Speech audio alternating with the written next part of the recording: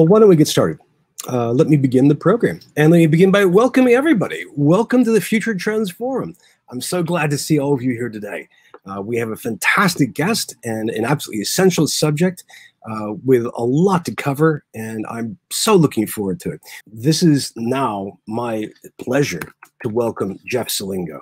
Um, Jeff is a longtime journalist who has kept a keen eye and a sharp pen on higher education and where it's going. He's the author of multiple, multiple books that are very, very important reading, constantly writing important articles. His Twitter feed is essential.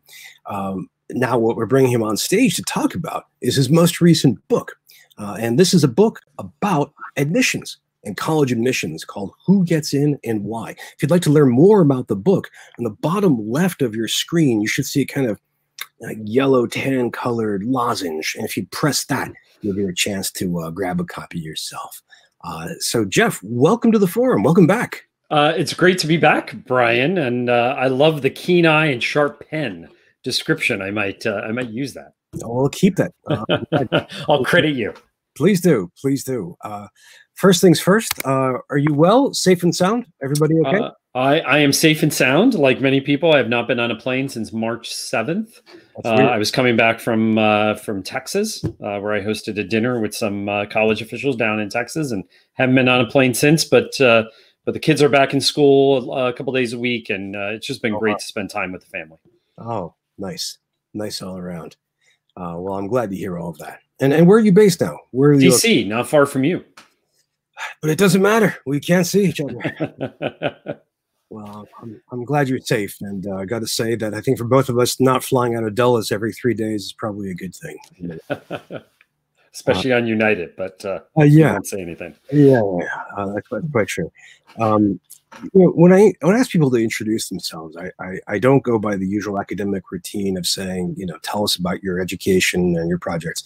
What I like to do is ask you to look forward a bit uh, and ask, what are you going to be working on for the next uh, academic year? What are the big topics or the big projects uppermost in your mind?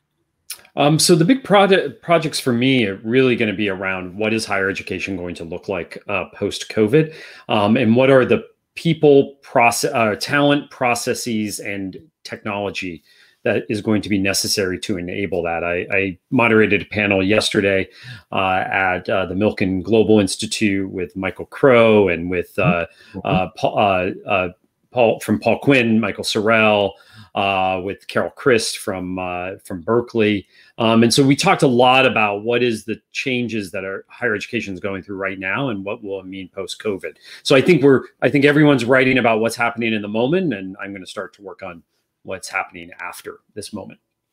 Excellent, excellent. Well, we'll need to bring you back. Yeah, uh, as as you make progress on this. Do you have a Do you have a title for this book in mind? Oh, it's not a book yet. Uh, I I don't know what I'm doing for the next book. The next book, I you know I've written three books about higher education. Uh, and I might want to do something outside of education. Uh, so if I did another book, it would probably be outside of higher education. All right. Well, I'm still interested. I'm still definitely, definitely interested. Um, and I think we all are. Um, the uh, well, that sounds like essential essential work to be done, um, and I, I, hope we can uh, learn more from it, whatever form it takes. Um, now, friends, if you're new to the forum, uh, the way this works is I usually begin with uh, an opening question to get uh, our wonderful guest talking about his work. Um, and then it's your turn to come in. I'm not going to be the interrogator. I'm not going to be the interviewer. I'm just the moderator this is a platform for you. So if you have questions, if you have comments or thoughts, again, just use that either the question mark box or use the raised hand button uh, to ask more. And I promise I'll be nice, and I think Jeff will be nice most of the time too. We'll see. We'll see how that turns out. Uh, my first question for you, I just have to ask, um, and this is a, a kind of uh, obvious question somewhere. You've been you've been writing on higher education for 20 years which is kind of outlandish to think. Yeah, 23, actually, but yes. 23 years. Okay. So when you did this in depth dive into admissions, what changed over that nearly one generation? What, what surprised you that was new? Um, a lot has changed actually, and and to be honest with you, you know, I spent 16 years at the Chronicle of Higher Ed, and admissions was probably one of the only things I didn't cover ah. uh, when I was there. So, uh, so you know, writing about colleges over the last couple of years and other venues, whether the Atlantic or the Post or wherever, um, I would always get inundated with uh, notes, mostly from parents who wanted to know why is college admissions uh, such a black box, um, particularly at selective colleges, and uh, and why is it so different, or why do we perceive it to be so different than when we went to uh, to college? And I think there are there are three quick pieces here that I want to talk about about what has changed in in 20 plus years. And you know, I I went to college in the early 1990s, and what has changed since then, or Jacques Steinberg, as many people know, a former higher ed reporter for the New York Times, uh, did a similar book 20 years ago called The Gatekeepers, where he spent a year inside the process at at Wesleyan. And and before I, I even pitched this book, I, I reread that book and realized how much it has changed. And there's probably three big pieces that have changed. Uh, and again, we're we're largely talking about, and I keep reminding parents of this: thousands of colleges out there. Average acceptance rate is 65 percent. Uh, what I'm talking about here is, you know, the schools that unfortunately, unfortunately, I think sometimes occupy way too much of our our breath every day, and that's the 200 or so most selective schools that uh, accept fewer than 50% of students who who, who apply. But um, but three things I think have changed. Uh, one is that uh, higher education institutions have become more nationalized. A set of them have become more nationalized and internationalized. So we're back in even as late as the 80s, uh, as any of us know, right? Uh, going to school from New York to California was seen as going literally across the the country. Uh, it was it was much harder to fly. We didn't have you know the discount airlines. Uh, obviously, much harder to fly now. Uh, you know, we didn't have uh, technology like this. We had to line up at the payphone uh, in the hallway and a residence hall to call home. So it just seems so much further away.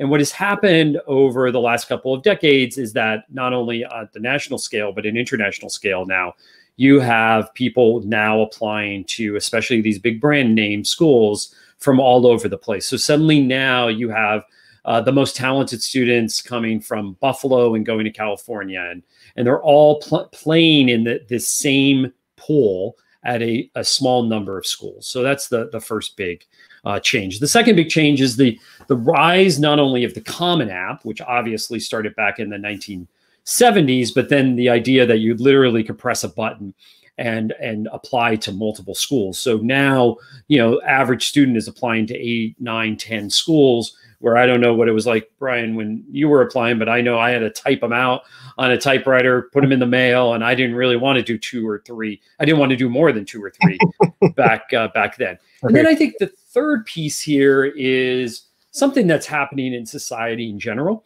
um, and that's we think uh, opportunity is increasingly scarce. Uh, and when that happens, we tend to kind of husband our resources uh, and keep them close to us. And I think for a subset of parents out there, largely parents who are in a certain income bracket in certain urban areas and suburban areas, uh, they want to pull out all the stops for their kids. And they think that uh, ending up on the right side of the economic divide means going to the most selective college you can get into, and thus they're going to do everything they can in their power to enable that to happen. And we saw in the Varsity Blue scandal, even willing to go to jail to do that. Mm-hmm. Mm-hmm. Those are great. Those are huge changes. I, I and and they mark. I went to uh, college in the late '80s, and so that that definitely um, um, very different. Yep. You know what I've seen as well. Uh, we have um, no, I, I, think those are three major, major changes, especially that last one, which tugs in so many questions of credentialing and professionalization and quality. Uh, we have a, a, first question already out of the box. Wow. My gosh, I haven't even a chance to ask people to do it again. Um, we have a question. This is from um, Rick Bryant at the University of Florida, who asks Is the time of legacy admissions coming to an end? And is there a difference between public and private institutions there? Um, I, am assuming the second uh, part of the question is related to the first one. Um, yes, I think that uh, for a certain set of institutions, legacies are becoming um, uh, more difficult to defend uh, based on our discussions about equity um, in admissions, particularly when it comes to uh, low income students, first generation students, students of color, right? All students who are really locked out of a system that is largely built on legacy admissions. The other thing is that I am starting to see at some schools, not all schools, that they're getting better data around this and they're starting to find that maybe legacy doesn't matter as much as we thought it did, right? We know there is national research data on legacy doesn't necessarily bring the dollars that we thought it did, right? We thought it helped in development. But I know that another reason why many schools use legacy is around yield. They think those students are going to actually enroll. Not only do you admit them, but they're actually going to enroll because of that connection they have to uh, to the school. And and some schools, I still think that's very true. Uh, but others, you know, so for example, one of the schools that I followed was Davidson uh, mm-hmm. College, uh, and I talk a lot in the book about how legacy mattered to their likelihood to enroll of students that they uh, admitted. Um, they're actually reducing that uh, in the in the coming years because they didn't see it giving as much of a, a you know as much help as they thought it would have in terms of uh, in terms of enrollment. So we're starting to see that more and more uh, across colleges and universities. Well, this is a, a fantastic question and uh, a very, very important one. And uh, Jeff, that's a very, very precise and, and rich answer. Uh, we have, thank you. We have a, a question that comes from uh, Wisconsin, from Michael Johnson. Uh, and he emailed me this. He can't make it right now, but asks, uh, what do you think about credit portability in admissions now? Uh, how is that changing? Meaning credit, I'm assuming portability between institutions. Yeah. Okay. Um, it's going to be in my mind it has to become more critical especially during this pandemic right because we're seeing you know we just saw the new numbers uh, today around enrollments uh, clearly uh, students are making slightly different choices than they normally would have made uh, outside of the of the pandemic uh, we have students taking some time off. We have students going to institutions closer to home. Uh, and we may have institu- students who may be transferring institutions after that. Not quite sure what's happening in the community college market yet because those numbers really kind of I don't know what you think, Bryan, but those numbers kind of confuse sure. me because they're just so they're so far down and mm-hmm. it's so counterintuitive than what normally happens mm-hmm. in uh, in a, in a recession. So I hope somebody's digging a little bit deeper into what's really happening there because my assumption would have been including traditional 18 year olds would have started at community colleges this fall because they wanted to stay at home less expensive and, and so forth. So credit portability is going to become even more critical, I think, um, in the in the future years. And, it, and it's something that I saw parents and students, particularly coming out of high school, don't think about because when you bring it up to them, as they think about, well, I'll start here and move here, and I could always transfer and things like that. And I always ask, well, are you sure your credits are going to transfer? And they say, well, what do you mean? Why wouldn't they? So I think there's this idea that we uh, that this is yet another uh, piece of the higher education system that the average person in public doesn't uh, doesn't understand. Has no connection to it all. Yeah. Uh, friends, Jeff and I were talking about this um, new report that came out this morning from the uh, National Student Clearinghouse Center. Um, and uh, I did a blog post about it this morning, so you can go there. I just put a little link to it in the chat box. But uh, a key feature of it uh, is not only is overall enrollment down about 3%, uh, but the community colleges were especially hammered. I mean, a drop of something like 12 to 16 yeah. Yeah, and again, a n- number, Bryan. I know you've done a lot more on this. Just doesn't doesn't quite make sense to me. Uh, I, I, think there, there are a few explanations. One, uh, Tom Hames, who uh, works at the community college, pointed out technology issues uh, where uh, community colleges are under resourced, as are a preponderance of their students. A second is I think that so many community college classes involve hands on work, you know, everything from culinary arts and diesel and medical prep. but I think also one of the surprises of that report that they're losing ground to for profits. for profits actually increased. And so I think to some extent, for profits are, are eating their lunch um, which is uh, something that we need to track. Um, we have more. Thank you for answering that. Um, uh, Michael is a great guest and a, and a great participant. We have more questions just coming in like mad. And, friends, if you'd like to join us on stage, again, just press that uh, raised hand. And um, and if you don't, I may just beam you up anyway. Let's see what happens. so we have from David Stone, the University of Michigan. Will the budget impact of COVID nineteen further reduce state funding for higher education? Is higher education funding a priority within state budgets at this time? Sorry, that's not so much an admissions question. No, uh, uh, but uh, you know, I got my start at the Chronicle of Higher Education as a state reporter, so uh, I, I, I, find, I fancy myself a little bit of an expert on state funding of, of higher education, and and and first of all, higher education has never been a priority in, in state budgets for a very long time. It's always been the balance wheel of most state budgets because it's um, you know you can't really charge uh, you know prisoners tuition uh, you know public education public k through 12 education uh, you can't charge tuition. So you know it was always the balance wheel because they knew they can always raise tuition uh, for uh, students in, in at public colleges and, and, universities. And that's exactly what's been happening right? More than in more than half the states today uh, students pay a, a, bigger share of the budget or a bigger share of their tuition than than the state does. And and I don't see unfortunately that getting better um, in this in this pandemic. And one other thing that I worry about is that uh, public universities, in particular, have balanced uh, or have helped their revenue stream in recent years by going out of state and out of country.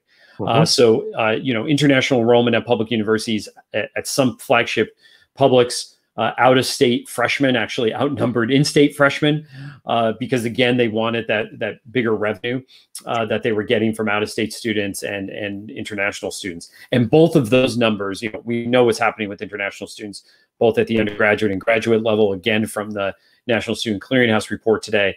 But also on top of that uh, you know i think that one impact of this pandemic is that students are going to be staying closer to home looking for better deals in state uh, you know, I have uh, uh, I have somebody I know uh, who uh, lives in New Jersey and goes to the University of Maryland. and I asked them, you know, I asked this parent, I said, why wouldn't you just go to Rutgers? Mm-hmm. And um, and I think you're going to start to see more of that, right? You're going to start to see more of those students who are leaving the state start to say, well, why wouldn't I just go to my state flagship or my state regional public? Uh, makes sense. That makes sense. Um, that's a that's a really really solid answer. Um, and we have more questions just piling in. Ah, this is this is great. Um, you just unlocked a, a storm here, uh, Jeff. Uh, and this is uh, this is from Joel Bloom at CUNY at Hunter College, who asks, "How do you expect schools that have shifted to test optional to use test scores from students who do submit them?" Uh, it's a great question. Um, and I will tell you, I, I, wrote a piece a couple of weeks ago for The Atlantic because what I was seeing was that, you know, we know uh, from Fair Test that more than 500 colleges now have gone test optional for this year because, or at least this year, in some cases three years, some cases permanently, because um, the pandemic has made it almost impossible or very difficult for students to take uh, the SAT or ACT. And the story that I did for, um, for The Atlantic a couple weeks ago was how students were and parents were going crazy to try to find a testing site. Uh, so they would drive hours. Some people would gasp it, even get on a plane to go take the SAT and ACT. And I kept asking, well, why would you do that if you're going to apply to a test optional school? And most, uh, there's still a, a, large, and this goes back to, I think, the trust in higher education and trust in institutions right now. They just don't believe this about colleges and universities. They say, well, colleges and universities say they're test optional. We don't believe it. Uh, and uh, and so again, it goes back to I think trust in higher education overall right now. Uh, given the pandemic, I think higher ed has taken a big hit uh, in the media. Bryan, you you see this a lot, right? The the the amount of uh, coverage now of higher education, and and to be honest with you, not much of it is is positive. So I think that what's going to happen is, and I keep telling parents and students, if if you don't trust it, this is the year to trust it, uh, because in so many of these institutions, you know, in an average weekend now, the SAT is canceling about half of uh, the test uh, registrations because they can't give those tests. So there are going to be so many students this year not able to submit a test score. So even at selective colleges that might have been test optional and maybe 85% in a normal year still submitted scores, you might only have 50% uh, submitted scores. So you might have, you know, and colleges can't pick their class only on half their pool, right? They have to look at that other half. So the question was, well, what will you do without test scores, or how? I think the question actually was, how will you use test scores? And I don't, I don't think they'll use them any differently than they used them in the past. And to be honest with you, after spending this year in college admissions, one of the things I found is that parents and students are much more in love with these tests than anybody in an admissions office. uh, right? They admissions offices, at least at the schools that I was at, and and and many others I talked with really use them as kind of a check against something else that might not make sense in the student transcript, whether it's a, you know, maybe they didn't take enough uh, college prep courses or enough uh, rigorous courses, or maybe the grades were a little bit off or they're all over the place, and they wanted to take a they wanted to figure out what's going on with the student, and the and the test score kind of provided a little bit of a counterbalance comparison that they could uh, use or maybe they didn't know the high school well right? I talk a lot in the book about how high schools matter where they're recruiting students from where these students are coming from and maybe they didn't know the high school they didn't know how rigorous the grading system was and so they would use the test score in that way. And i think they're going to use the same if they have that test score this year uh, and there's something they don't quite get on the uh, on the transcript they'll use the test score i think in, in the same way that, that's a really really rich answer um, and uh, uh, joel thank you for the for the question which give gives us a, a, kind of deep cut into uh, where higher education is working in general uh, not just admissions uh, we have a video question from steve at campus sonar let me see if i can bring him on stage let's see I think we're there. Look at that. I figure somebody has to be the guinea pig here. That's you, Steve. Welcome. Well, thank you for the opportunity to come up here. Uh, and Jeff, thank you for the book. Uh, no I'll admit I'm only in the reading section. So so maybe this hasn't, uh, the question I'm going to ask is something you'll explain later in the book. But in the introduction, the one that you write specifically to students and their parents, you recommend that they don't fret about visiting colleges and instead research schools on platforms like Reddit and YouTube in particular. I'm curious in the conversations that you had in putting this book together, what sense did you get from college administrators that they're aware that students can and are researching them on these platforms that you mentioned? And are they concerned at what those prospective and admitted students might find when they're doing their research on those platforms? Yeah. Uh, so Steve, thank you. Um, and by the way, I don't I don't think I only recommended that they that they look there, but they are looking there. So this Bay, this is the reality, and I suggested it as yet another thing they could be looking at. Um, so they are mo- going beyond the normal channels, and this is nothing new. I mean, ever since the rise of the internet, uh, college is no longer governed kind of the the marketing that students got to see right? Think back in the old days and i spend a lot of time in the book talking about the history of direct marketing in, in higher ed.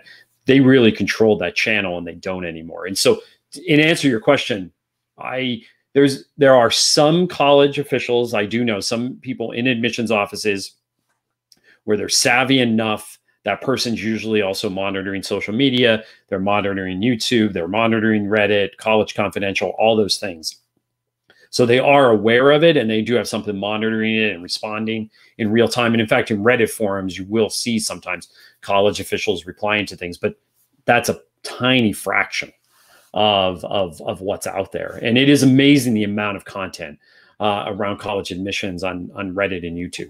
And by the way, many of them, many of the YouTube stars, in fact, I was just interviewed by one who has, you know, 50, 60,000 you know, and at, at many colleges, like their top YouTube person will be, you know, 50, 60,000 uh, uh, followers or whatever they call them on YouTube.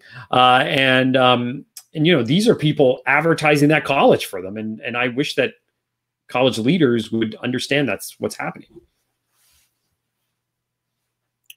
Well, thank you. Thank you, Steve, uh, for the really nice question. Um, and uh, thank you, Jeff, again, for the, for the perfect answer. Um, we have a uh, so if you're new to the forum, it is just that easy to get up on stage. And in fact, here, uh, if you'd like, if it's too complicated to ask me, just press the teal color box and you'll be up on stage. Um, and if you do it by mistake, it'll be it'll be entertaining. Um, but it's uh, it's very good to see and hear uh, all of you. Uh, we had another question that came in um, from uh, actually from the Washington D.C. area. This came by email ahead of time. I want to make sure we got this in. Um, what's going to happen if COVID is not, if, if COVID means that grades are not an accurate measurement of academic potential? Uh, you know, students don't have access to the same amount of uh, jobs and curricular activities. We have all kinds of questions about about uh, assessment and you know shifting to pass fail and that kind of thing. I mean, what, is COVID doing to uh, to the whole admissions process? Yeah, and I think that's Bryan, and, and I just wrote a piece in the in the Washington Post that I could I could add uh, to your to your list of resources uh, about. I think that's where colleges, again, more selective colleges that have this ability, because they're inundated with applications. I think that's where they're going to lean into high schools. They know. Um, and this was really a big piece of this ended up being a much bigger piece of the book than I thought, uh, where where high schools really matter. Um, not only where colleges and universities recruit mm-hmm. uh, every year, where they get to know the counselors, uh, sometimes even by name, where during the uh, review process they don't even have to look at the high school profile. So this is a document that comes with the application telling the admissions officer everything about that high school. Well, they know this high school so well, they don't even need to look at that high school profile. They know how many AP courses they offer. They know what the percentage of students who go to college are because every year they get a bunch of those uh, uh, students. So they feel so comfortable with those high schools because they take so many students from them every year. Yeah. I think what they're going to do this year is to say, you know what? Instead of taking 10 from that high school, we'll take 12, we'll take 15. So all of these big feeder high schools that they already have, they're going to uh, they're just going to lean more more into in my in my uh, my opinion. Um, and in fact, um, I'm going to pull up a, a stat here uh, to talk about li- a little bit more about why. Um, sorry, I'm just going to pull up something from the the book. Um, so, when Human Capital Research, which is an admissions consulting firm uh, that I, I use in the book as a character, they analyzed 130,000 applications. I'm, I'm, quoting from the book here hmm. to a brand name college over the span of a decade. It found that just 18% of high schools were responsible for 75% of applications and 79% of admitted students. 18% of high schools. We have 43,000 high schools in this country, about public, private, small, large, rural, urban. Um, and and you know, so at a place like Emory, one of the universities I followed, maybe eight thousand high schools were represented in that admissions pool. But trust me, there were true feeder schools in that, and I think they're just going to all these schools are going to lean more into those into those feeder schools. Eighteen percent of high schools, I mean, less than a fifth. Yeah, responsible for about. And you know, and that's that's one one institution, but trust me, that is replicated over and over again. It's one of the reasons why, and I know you have written a lot about demographics. It's one of the reasons why many of these uh, colleges in the Northeast and, and the Midwest are, are so stuck right now because they're so dependent on a small subset of high schools out there. Well, there's a way. There's a way to make that work, um, and, and uh, the traditional way. And uh, David Holma from the Harvard Business School has a question about that which is about sports. What about the future of elite schools and sports recruiting? What direction might it take? And what about sports that are more niche? Squash, Nordic skiing, fencing. Uh, this is almost like the uh, the the question on uh, legacies. Uh, mm. sports, and and I, again, I dedicate a, a whole chapter to sports. Uh, and as Bryan knows, I think he had a chance to look at the book. Right, I I I you know athletics, particularly at elite selective division three schools in particular. You know when we tend to think of sports and it's interesting even the editor of my book i had to rework this chapter very much during the editing process because i think when the average american thinks about college sports they think about what they see on tv and they think about two sports. Uh, they think about basketball and football uh, for the most part, right? They now all everybody in the in in the audience today who work at college universities know we're talking about a much bigger world here but but most americans that's what they think about. But at the average college we might have 23 to 25 sports and we have to fill those roster spots. And at selective colleges that's even more difficult because they also have to pass muster with the admissions office. Uh, and and that's where at highly selective colleges they have to reserve spots. So for example almost all recruited athletes come in early decision uh, they reserve spots for many of these students. They have the slot system where there, there are seats dedicated for athletes and at places, and I focus a lot on Amherst in the book, uh-huh. right? They are they are not only dedicating spots, but they're they're very explicit that those spots are for some of those spots are for students who might be under the traditional academic profile. So there is not only a thumb on the scale, there's a whole fist on the scale. Now, you know, I'm I'm a huge sports fan. My uh, my brother-in-law and sister-in-law actually coach athletics at a Division three college. Right, I'm not. Uh, I've been getting into some Twitter debates, Bryan, with um, including my kid's babysitter who was a college athlete herself about this. Like, you know, I'm not, I, you know, and I tell parents, you know, if you want to take this pathway into a college, go ahead and take it, but understand, by the way, you're getting a preference too. Um, so don't complain about any other preference that somebody else might get. Uh, in the admissions uh, in the admissions process, and and at a place like Amherst, and let me just kind of uh, uh end this because somebody brought they brought up squash and these um, these Olympic uh, slash country club sports, right? Uh-huh. Uh, that very few people, no offense to anybody who plays them, but very few people go to see, uh-huh. right? And uh, and and they don't necessarily bring money in, but what they are bringing in are uh, or money from people going to see them. They are bringing in a class of student, and um, because they uh, where they tend to be played, uh, they are bringing in maybe students from other parts of the country, uh, which are important to colleges and uh, and universities but they are bringing in largely affluent students who could pay at some of these colleges pay the entire bill just to play their play their sport. And I make that point at um, at Amherst, which has been on a, uh, a, a strategy to try to diversify the student body. But among their athletes, who make up a third of their student body, a third of their student body, uh, more than ninety percent of their athletes are white, and more than ninety percent come from the top income uh, quintile. Well, right. So if you need to diversify your student body and a third is essentially off the table because they play athletics, you're going to have to do a lot of work with the rest of that applicant pool to pull in a lot of first generation, low income, underrepresented students. So, as I point out in the book, if you're a essentially, if you're a white upper class, uh, you know, affluent student, you don't play sport, your chances of getting into a place like Amherst is um, is not really good. And so we could talk about the fairness and unfairness and the supposed meritocracy of college admissions, but yeah. that to me is a great example of how it isn't fair and it's not a meritocracy. David, that's a great question. I'm really, really glad you answered this, or that you asked this rather. And Jeff, I'm really glad you answered it. This is something uh, anecdotally my students are really, really keen on, and they're completely divided. They're on they're on all they, they, it's a, it's a hard, you know, it's and it, Bryan. I think it just comes back to this idea that we have come to think, especially at selective schools, that admissions is a zero sum game. Right. I got in and you didn't. Right. Well, the fact of the matter is, nine of you didn't get in because I got in, right?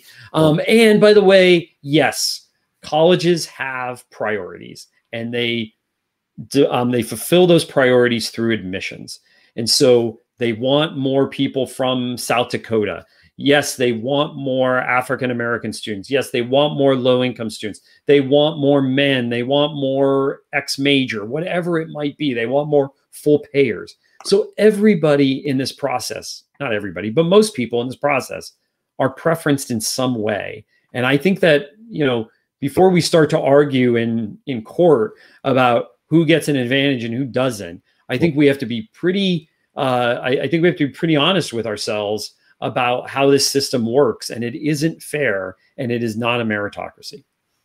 Whoa, that's quite a sting at the end. It is not fair, and it's not a meritocracy. Well, um, we'll just let that sink in for a second. Um, but then we also have um, a, a, wonderful friend of the program that I wanted to bring on stage. Um, and this is Sarah uh, San Gregorio. Um, who uh, is coming to us from the Northeast. Hello, Sarah. Hello, Hi, Sarah. can you hear me okay? Yes, perfectly. Awesome. Um, my question's about graduate programs. So, anecdotally, um, I'm in my mid 30s, and uh, a bunch of my friends have all gone back to school uh, to get their graduate work since the pandemic. Are you starting to see things with uh, uh the pandemic affecting uh, like an uptick in the graduate area as well as what you've been seeing in, in undergrad?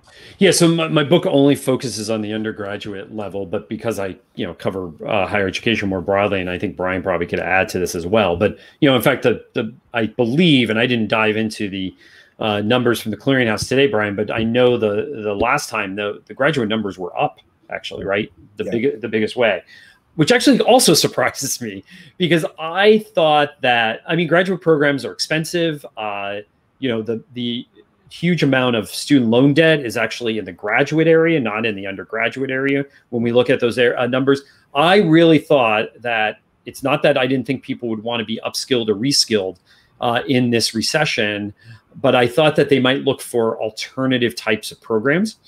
Um, and maybe we just kind of keep going back to what's tried and true, and that is the graduate programs, uh, the traditional graduate programs. And maybe we still think that the graduate degree, the master's degree, whatever it might be, still provides us that signal. It goes back to the signaling thing uh, for for the workforce. So so yes, we are seeing that. I'm surprised by Sarah because Sarah, right?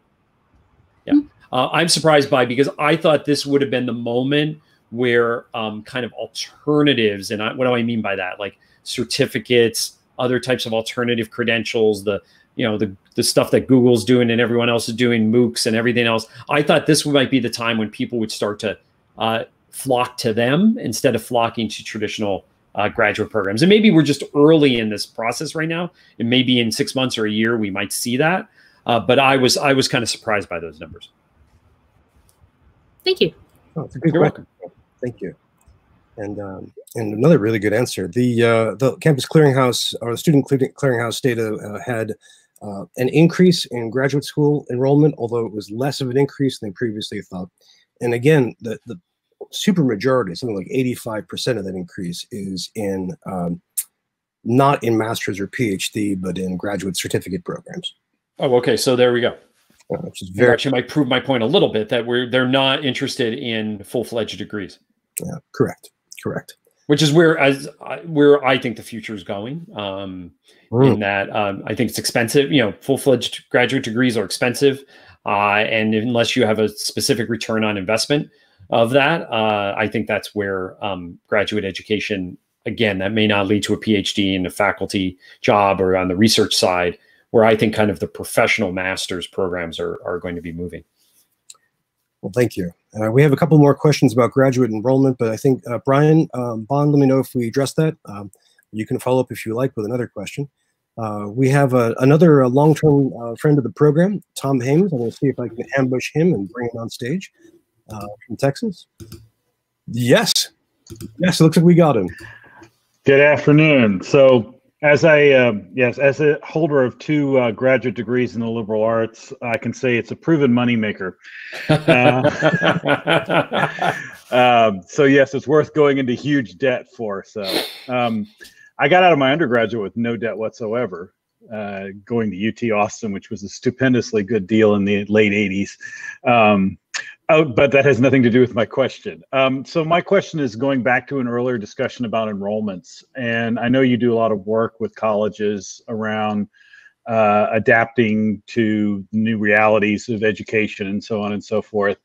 And I was wondering how much of the dip in enrollments do you uh, put down to colleges' unwillingness to um, be flexible on some of their systemic things, things like uh, standard length semesters, things like credit hours, things like degree programs, uh, completion, succession, uh, success, uh, success initiatives that yeah. that tend to box students in and make them go, "Oh, wait a minute, I don't know sure I want to get into this." Um, it's kind of relates to my earlier point about community college students. Uh, I, you know, I think that there's a fair chunk of them who chose not to go to take classes this semester because they didn't feel like they could handle the tech aspects of it in the sense that they didn't have reliable Wi-Fi or a computer that they could work on and so on and so forth. And and uh, I made the observation in the chat uh, as well that um, uh, I have far fewer students. I teach at a community college. I have far fewer students that are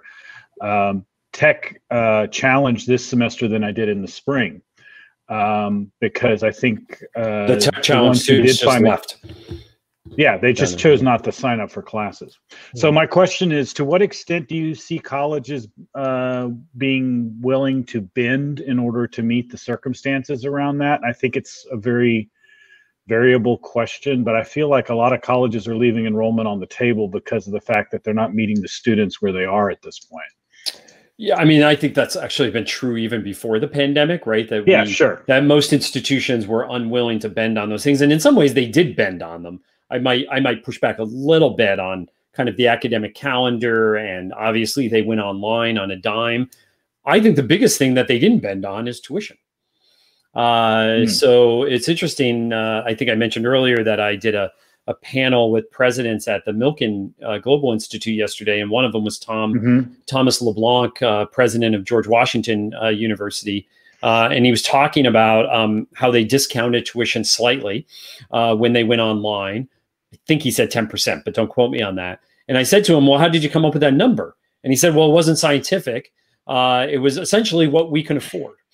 Um, and I, you know, if you ask most students about their experiences in a uh, either in a residential or face-to-face education, they will talk about the relationships, they will talk about the mentorships, they will talk about the peer learning, uh, they will talk about all those things that are obviously not as present in a underdeveloped online experience. And we all know uh, on on this in this forum, uh, we know what good online education is, and we know what bad online education is, and mm-hmm. much of what's happened since the spring in remote education has been on the bad side. I think it has it just hasn't yes. taken advantage of the of the technology. So where I think mm-hmm. this where I think this is coming down to is that parents and students are saying, yeah, you're giving me a 10% discount, but I actually think the the on-campus experience is or the residential experience or the face-to-face experience is worth a lot more than 10%.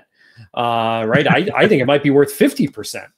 Um, so I think mm-hmm. where you left enrollment on the table, and colleges, the model just doesn't provide this. Is I think colleges should have been honest about, and they many colleges can't because they haven't even figured this out. Like, how much is the in-person, in-classroom experience worth, or how much does it cost? And then how much does all that mm-hmm. other stuff cost? Because if we're t- if we're going online and we're taking away everything from the outside the classroom experience that is worth a lot more than 10%. Uh, and right. that's where I think parents and students said, you know what, I'm just going to take the year off. Uh, and I'm just not going to pay any, you know, I'll pay whatever it is, maybe a, a, fee that I have to be to remain kind of currently associated with the university. So where I think maybe colleges left money on the table then is like, you know, well, how about you take one course, right? Uh, and you know, you maybe do other stuff that kind of keeps you uh, that's where I would have bend more. That's where I would bend more. If you can't offer them a 50% discount, are there other things of value that you can give them uh, in mm-hmm. order to keep them associated with the college or university? Well, what about non-elite colleges though? Like, you know, again, like community colleges, we, you know, we were kind of scratching our head over the drops there.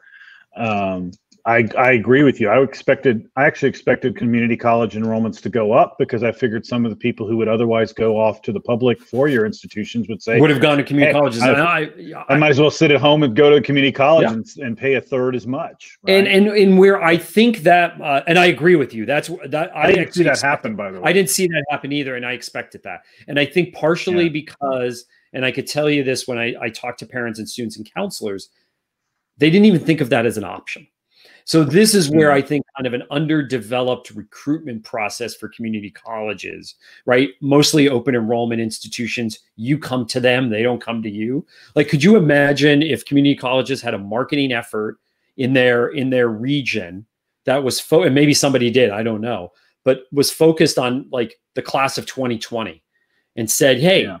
you know, come here instead of you know going online to State University or come here and go online, you know, even if we can't meet in person. You know, they don't they have underdeveloped marketing, recruitment um, because of the types of institutions they are. I think if they did, they might have been able to grab some of those students. Yeah, although I, I, I will push back a little bit and say that my college, uh, I mean, I'm at Houston Community College. Okay. Uh, does advertise, does market pretty, spend a lot on marketing and advertising also because we're in a large urban area in competition with other community colleges like Lone Star that are uh, in San Jacinto, which are close by. Uh, but um, um, yeah, I just you, you, you may be right. I I mean I I mean that that people simply didn't consider that as an option. But I just feel like stu- colleges in general, including community colleges, are not being flexible enough in meeting students where they are on a lot of these things, and and that they're missing huge opportunities both online and in person whenever in person comes back because of that. So, and it's exacerbated by the pandemic. I just like the way your voice dropped when you said Lone Star. It was like, yeah, comparison, yeah, Lone Star.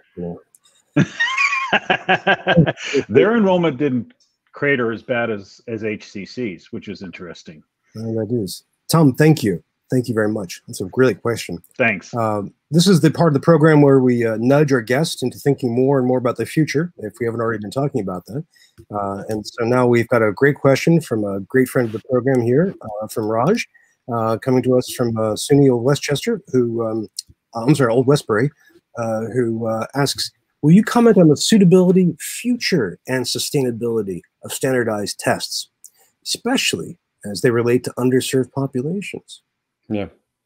Um, I think they're on their way out uh, uh, for the va- for a, a, much larger. You know, we already had over a thousand. I think it was like a thousand, twelve hundred colleges that were already test optional before the pandemic. Add another five hundred or so that were added, and more selective colleges that were added because of the pandemic. Some of them have said that they're doing three year uh, tests or three year pilots of that, um, and I think they'll kind of study their data and they'll say, you know what we admitted a class, they're doing as well as any of our other students in college, and we didn't have a test score for them. Why do we need one? Uh, I think you'll see the super selective colleges go back. I think you'll see some of the state flagships go back because there's political pressure. You know, we're even seeing that now. You know, it took Georgia, for example, forever uh, to go test optional because there was political pressure there. I think Florida still hasn't gone test optional. I moderated a panel at the NACAC, uh, all the admissions officers and counselors a couple weeks ago, and we had the president of UCF on there, and he was getting bombarded with questions about why they haven't gone test optional, and it was really out of his hands because again, it's a it's usually a political calculation, and in some of these states, and I'm not trying to get political here, but um, in some of these states, it's just really hard to go test optional from some of people in the standards movements who think that uh, testing is important. But I think we're going to see a lot of colleges not uh, not go back. Now, what's going to be interesting, Bryan, is that uh, I keep talking about this panel I moderated yesterday because it's oh, you know, great my brain. Um, so next week, if I'm on, I'll remember the panel I moderated the day before. But um, Carol Christ, Chancellor of Berkeley, was on, and you know California is involved in litigation now. The University of California had gone test optional. Now they're test blind because of this litigation there. And she keeps saying, you know, this is not over yet. We're still going through this. She keeps talking about another test uh, that measures, you know, actual learning rather than uh, kind of an achievement based uh, test. Uh, I'm skeptical of that. And by the way, I'm not quite sure Raj is, you know, a lot of tests have issues, obviously, with equity, and I'm not quite sure, mm-hmm. um, you know, this idea of developing yet another test. Uh, I kind of wish that we would kind of reduce our reliance on testing in a lot of places, um, and uh, so, but you know, that worried me yesterday when she said that uh, that uh, well we might get do away with the SAT or ACT but god we're going to develop another test and you know what happens when the University of California will develop something and if they do develop something then everybody else will follow them. So we're never going to get rid of testing that way. So um, anyway, that's uh, that's where I think it stands. That's a good answer. So she didn't have a specific test already in mind. It was one that she'd like to lead the development. Yeah, of. they may lead the development of. They may use some of the, the K through 12 testing, but anyway. Okay, well, this is good. Thank you, thank you, and thank you, Raj, for the for the very good question. Uh, Eric Stokes from the University of uh, Memphis had a, a related question, uh, which is advocates argue against the use of tests with good intentions. Removal of tests will result in more subjective review and could work contrary to intent.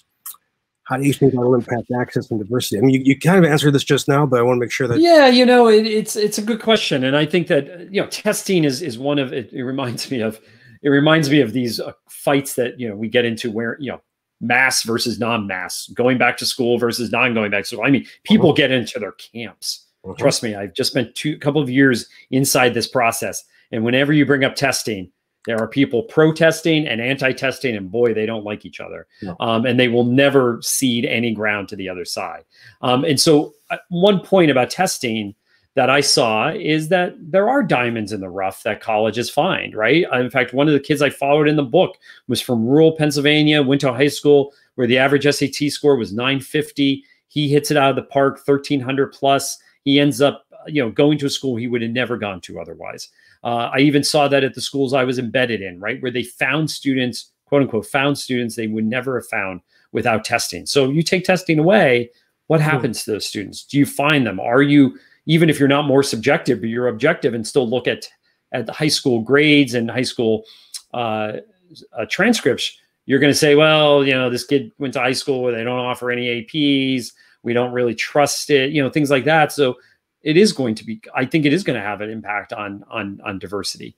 Uh, so this is the problem with this testing debate is it is shades of gray um, and I, I, wish there are elements of testing that we could save. This is a great answer and, and, we're running low on time and i know you have a hard stop and i want to make sure i get as much Jeff Selingo goodness out of this as possible. Um, I, would like to combine two questions and squish them together. Um, so these are because these are almost two parts of the same question here uh, th this is one from terry givens who asks about tuition so hold on to that for a second. And Terry is awesome, a great guest. So about tuition in this, and then Brian Bond adds to that the question of uh, scholarship models. So you know, looking ahead in admissions, how are we going to see the tuition scholarship model of, of processing and ingesting students change? Thanks to both Brian and Terry for a good question. Um, well, the pricing model, and Brian, I wish that somebody would would really kind of lean into this. Um, we need to develop a new pricing model in higher ed. I mean, this idea of high tuition, high aid, if you look at the budgets, uh, really get inside the budgets, which I've been able to do at a, a, number of colleges that have been continuing to discount year after year, you will see, if you look at the last 10 years of their net tuition revenue, you will see this or this. Yeah. Um, they are just not bringing in enough revenue um, in order to really sustain their operations or invest in new things. Right. So, and yet every year they're continuing to raise their tuition um, because they have to raise their discount rate and they're just not bringing in any new real dollars. So that's just, it's not sustainable. And so, you know, a couple of years ago, colleges started to um, kind of do tuition resets, mm-hmm. right? Where they just basically drop their uh, uh, tuition, uh, or their published tuition down to what their discounted price was to anywhere. I think that uh, uh, you know, I haven't seen more recent studies on it, but I think in most cases it helped for a year or two, but it really didn't change the trajectory of those schools. Uh, oh. I, I really hope that coming out of this pandemic, some smart economist out there, some smart CFO comes up with a whole new pricing model uh, for higher education. And I think part of it is we have to get our costs under control as well. So um, I guess I'll just leave it at that. That's good. About 10 years ago, I had this uh, epiphany where I was trying to figure out how to explain higher ed pricing to uh, people not in higher ed, and I realized that the closest analogy was really American healthcare. And then I thought, oh man, we're, we're, serious, we're in serious trouble. Speaking of serious trouble, I think you are our guide out of that trouble. Jeff, thank you for this fantastic hour. You have been just a, a terrific, terrific guest. Um, how are how are the many ways people can keep up with you? I mean, obviously, they have to get your book. But yeah. Twitter the main route or um... uh, Twitter, uh, LinkedIn, um, Twitter and LinkedIn. I'm trying to figure out Instagram and Facebook.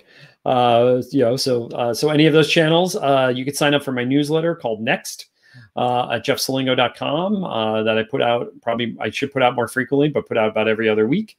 Um, and those are about the about the ways. Uh, uh you know, I've been kind of in book, uh, as you know, Bryan. You're when you put out a book, you're kind of you're buried deep in the in in that for uh, for a little while, and now I'm starting to come out of that and starting to think about what's next. And your next project could take any number of forms. Yeah, exactly.